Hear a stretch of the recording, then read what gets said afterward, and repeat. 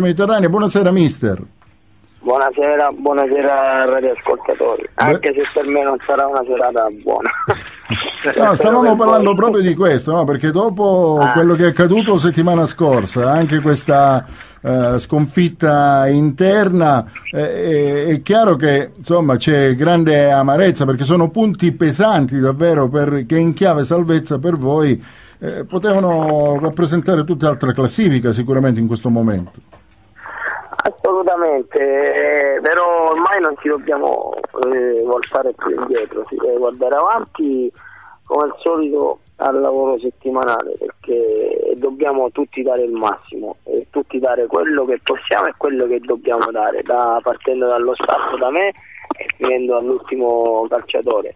Quindi è inutile guardarsi indietro, è inutile guardare a domenica scorsa come è inutile guardare alla domenica appena passata. Eh, dobbiamo solo fare un mea culpa, vedere perché stiamo perdendo questi punti che, come dice lei, sono fondamentali per la salvezza.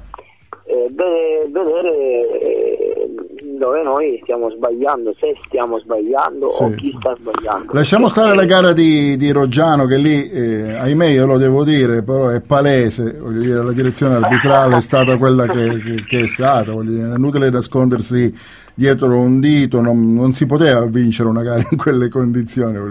Ma oggi invece... No, oggi dobbiamo fare contenti per signorina Molinaro come sempre eh, puntuale e precisa nelle sue, nelle sue chiamate, come guardalinee. Eh, io non, è difficile che parlo degli altri, anzi cerco di non parlare mai. Però, quindi nota positiva no, per la direzione arbitrale, no, quindi, ma, il problema, ma, il problema, dove è stato quindi oggi di questa sconfitta? Proprio la sua squadra? Eh, il, non... problema che, il, problema è che, secondo me stiamo, eh, stiamo giocando poco da squadra e molto da singoli e quindi questo non va bene e quindi in settimana ci dobbiamo imboccare le maniche e cominciare a, giocare, a giocare di nuovo da squadra. Sì. Mister, Mister sì. buonasera. Sì. buonasera. Eh, diciamo che avete una, bu- una, difesa in linea con le altre difese che sono anche su, 5 gol subiti, però 3 gol siete quasi in fondo in fondo, dopo, prima di voi c'è solo Tagliamese e Montalto, Crisalli ne ha fatti due, però insomma davanti si segna poco, eppure Zappi e gli altri che fanno? Eh, stiamo purtroppo eh, oggi mancava più che altro la rifinitura per i ragazzi altri perché eravamo eh, ma questo non deve essere assolutamente un alibi, eravamo primi sia di De Marco che di Candido che di Neri.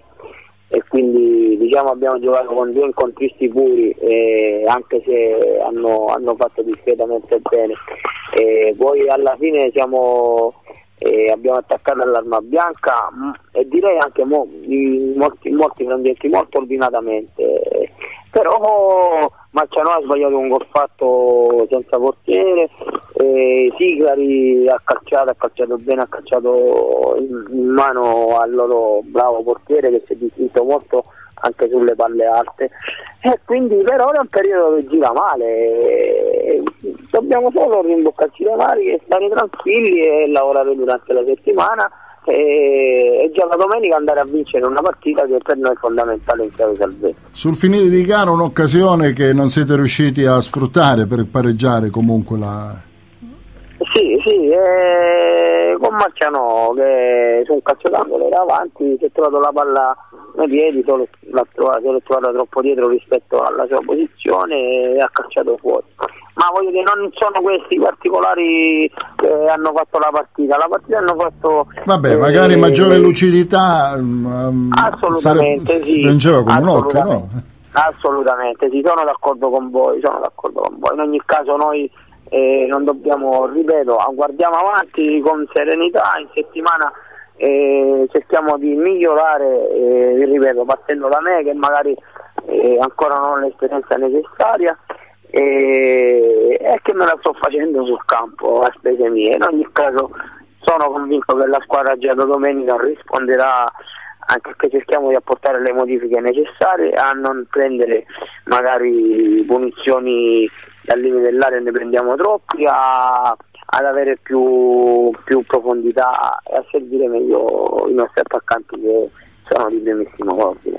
Bene, Vincenzo, un'ultima battuta per il tecnico del Reggio Mediterranea, Crupi. No, beh, con, eh, Ti sentiamo male. Mi compiaccio, mi compiaccio per l'umiltà di questo allenatore, Cupi, che veramente eh, non è facile dire certe cose che si sta facendo la sua esperienza, bravissimo, per questo sono molto contento di quello che ha detto e le volevo chiedere se sta, se, se sta lavorando all'aspetto tecnico, le avevo chiesto sull'attacco. Sento male però. Vincenzo, ti sentiamo male. Stavo dicendo... Sì, ora va molto meglio, ecco. Stavo dicendo a Crupi se sta lavorando sotto l'aspetto tecnico che avevo chiesto prima, cioè l'attacco, se sta cercando qualche nuova soluzione.